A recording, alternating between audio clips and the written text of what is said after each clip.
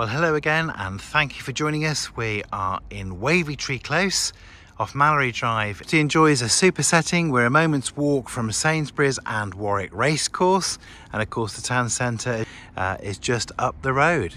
Property has the added benefit of a conservatory being on the end. It's got a wider than average garden. It has this uh, additional front area uh, of garden as well. And the development, when built, came each property with a one and a half parking spaces. I have to say these properties are beautiful. This one is absolutely immaculate. We come into a lovely entrance vestibule. So the kitchen has been beautifully reappointed with an excellent range of units and granite top work surfacing with upstands. There's an integrated uh, fridge and all the usual fittings. Walking through the property back into the rear of the house, we have a lounge dining room. And this particular property being on the end of the terrace has got a hole in the wall style gas living flame coal effect fire. I have to say the property is immaculate throughout. So we come from the living room through into the super rear conservatory that just takes full advantage of the southerly uh, rear aspect.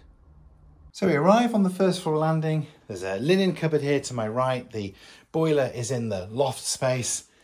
And this design gives you a superb master bedroom right across the uh, full width of the property. So you have a magnificent sized master bedroom with two lovely windows overlooking the front.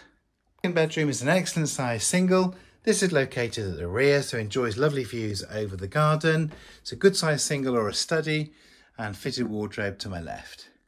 There's an immaculate shower room uh, big enough for a bath if you wanted one when these were built, they had baths, but this has now got a good sized shower cubicle.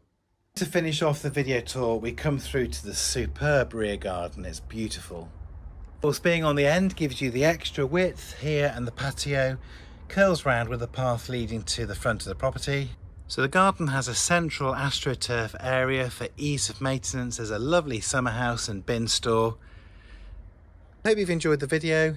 Uh, the last property we sold in this location went within about four days, so if you'd like to arrange a viewing, please give us a call, we'd be delighted to help.